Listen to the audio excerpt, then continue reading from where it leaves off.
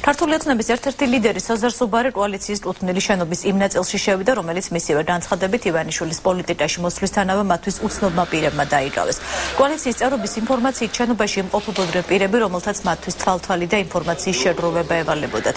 ეუთო საპარლამენტო ასამბლეის განცხადებების შემდეგ კი შენობის გარშემო ღობის მოხსნასთან ერთად უცნობმა პირებმა ადრილი ყველანაირი ტექნიკასთან რამდენიმე საათში დაცალეს და იქაურობა დატოვეს. ესენი იყვნენ ადამიანები, რომლებიც ხადია იყვნენ სპეცსამსახურიდან, იმიტომ რომ არანაირი ფირმა, არავითარი ხელშეკრულება არ არანაირი ლეგიტიმური საფუძველი მათ აკუთვნის არ ქონდათ.